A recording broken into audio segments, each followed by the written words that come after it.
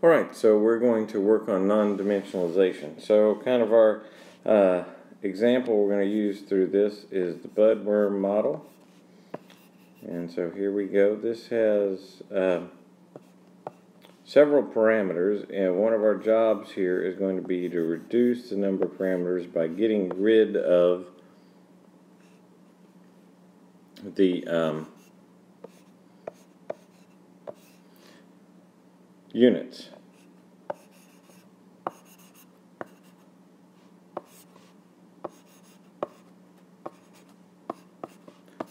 All right.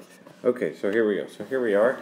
So the first job really is to identify what the units are on each variable or parameter. So n here is really the number of budworms. and you can see that this term here, this n over k, uh, very nice. It'd be nice if these guys have the same units because then, as in the logistic model, usually this term in the product has no units. So k here is going to have the same number, uh, same kind of units as n. So k is also going to be the number of budworms. If that's true, then this term has no units. This is the number of budworms. And you can see that uh, the units on the derivative, this is budworms per time. And so this forces R to have the units 1 over time. That might be 1 over years or 1 over days or whatever the time units are. Okay, so we got that. So we have N, K, and R. We also need to get B and A. This is a little bit trickier over here in this term. And so the idea is to um, figure out what the units might be. So you've got budworm squared, budworm squared.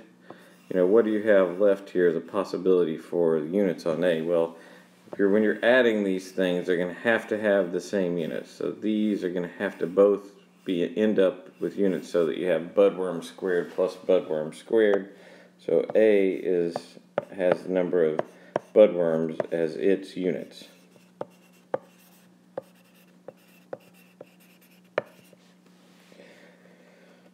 This leaves, well this is kind of interesting because now you have budworm squared divided by budworm squared, so this term here has no units in the end, which means that B, well,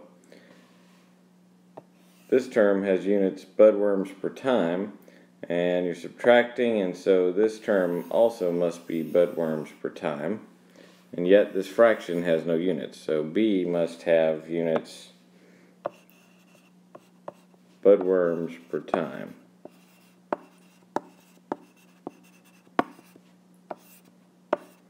Okay so this is going to be critical uh, and we got to keep these ideas in mind. Now when we go on, one of the key things we've got to figure out here is, um,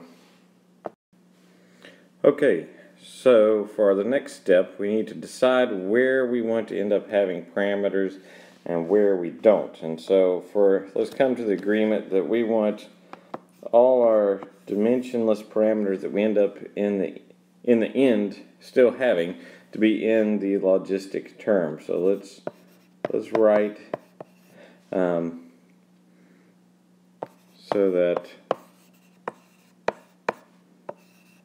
all dimensionless parameters in the end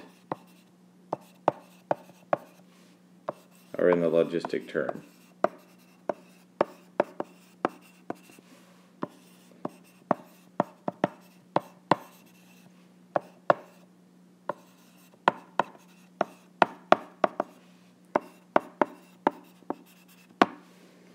So in other words, all we're going to end up with parameters over in this logistic term.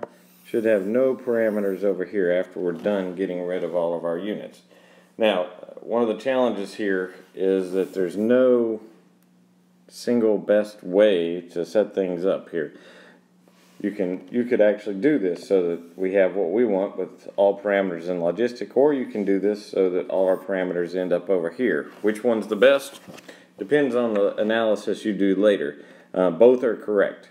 So we're just going to go with this, partly because this is what our textbook does, and we're going to see that come up later as we get into chapter 2, and partly because the analysis in the end is a little bit easier this way. So um, some of it is trial and error, and you just have to take a shot at it. So we got to figure out what to do here. So I want to define an n hat that will have no units and um, this is a little bit tricky choice here, and it's really all going to be based on looking at this term and guiding us because we want to get rid of that. So uh, rid, rid of A and B over there eventually. So we're going to choose n hat so that we have n either multiplied or divided by something to get rid of the units. So n is in the number of budworms. So the only other uh, parameter here in this term, and oops, in this term that is also just the number of budworms is A. So that's what we're going to go with here. So we're going to have N divided by A. And then we're going to work from this and see where we go.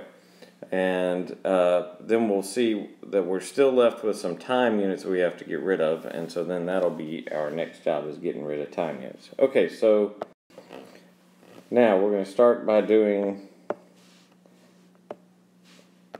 dn hat dt. Well, this is 1 over a dn dt. And of course, that dn dt we already know. So we have 1 over a times b, whoops, sorry, that should be r.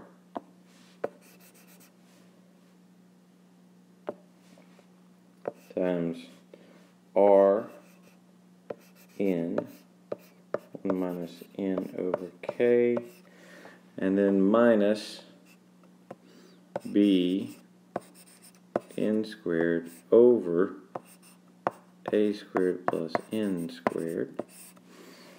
Okay, well this uh, simplifies some, so you get your r over a times n. Then you have more of your logistic term here. And now we're going to have b over a, which is fine, but we need to work on simplifying this term and doing something with these n squared. So I can replace these, recall over here that n hat we define to be n over a. So if I want to replace n, I can just solve because n will be a times n hat. And this will show you that we have a n hat quantity squared over, and then there's our a squared plus a n hat quantity squared, and now you can see that you have an a squared divided by a squared plus a squared there, so the a squareds are going to divide out of that term. So we've actually made some good progress here, r over a times n times 1 minus n over k minus, oops, sorry,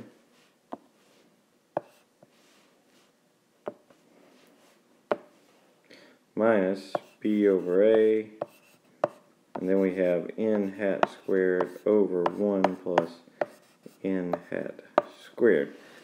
So now we need to look at the units here and see where we are. Alright, so we're looking at the units here. And so, first of all, R has units 1 over time, and A has units number of budworms, and N has units number of budworms. So the number of budworms cancel out, and this whole term is just 1 over time. That's all the units you have here.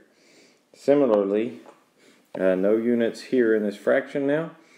B is budworms per unit time divided by A, which is budworms. And so the units here are just 1 over time. So now we just have to get rid of these time units. And we're going to do this by defining a t hat. And so we need to make a choice here on a way to get rid of, uh, time. And the way we're going to do that, since we're, again, we're trying to get rid of this b over a. We don't want anything here. So the way we're going to do this is take this to be b over a times t. And notice that this is 1 over time. This is time, so the time units now will cancel out. So that's how we're going to take care of uh, get rid of, getting rid of time. So now we want to go look at the derivative d in hat dt hat. So we're going to have to work this and the chain rule will be involved this time as we work on uh, getting rid of the last of the units here. Okay, so let's give it a try. Alright, so here we are and so before we work with uh, the derivative we're going to work with, we need to also try to get rid of all the n's in favor of n hat. So here is an n hat and then to get rid of this n, we're going to replace this with a times n hat. Okay, so what we'll have then is r times n hat times 1 minus, and now we've got a over k n hat minus b over a n hat squared over 1 plus n hat squared. And now we can turn to working on the derivative dn hat dt hat. So that's our next step. Alright, so now we want to compute dn hat dt hat. Okay, so in order to do that, we're going to have to uh, work with what we know, which is dn hat dt. But, and now we're going to use the chain rule to handle um, getting us over to the dt hat. So we then have dn hat dt times dt dt hat. Okay, so the first guy here, this one we know from what we were just working on, so that is going to be r n hat times 1 minus a over k n hat minus b over a n hat squared over 1 plus n hat squared. And now we just need to know what dt dt hat is. And we can do this by going back and solving for t. So we said that t hat is b over a t and so what I really need to do is solve for t so I can take the derivative easily here. So t in terms of uh, t hat. And so we have a over b t hat. And so this tells us pretty quickly that the derivative of t with respect to t hat is a over b. Okay, so distributing, we're going to clean things up quickly here. So we have ar over b times n hat times 1 minus a over k n hat minus, and now you can see that uh, our cleverness has done it. We will get rid of the b over a and have no parameters over there. So we'll just have the n hat squared over 1 plus n hat squared. And so we've done what we wanted to do, and so there are no units in this term, there will now be no units in this term. And you can check the units on those. And then we're going to have two parameter groupings that we're going to work with. This guy and this guy. So we can redefine those with new names. We'll let r, little r, be a times r over b. And we can let lowercase k be, let's say, uh, k over a. So then we'll have a lowercase, we'll have a lowercase k down here in the denominator, and it'll look like a, um, a logistic just like usual. So, um, in the, so in the end, what we end up with is this format, which has no units and just two parameters. This will make our analysis of equilibrium points and stability much simpler.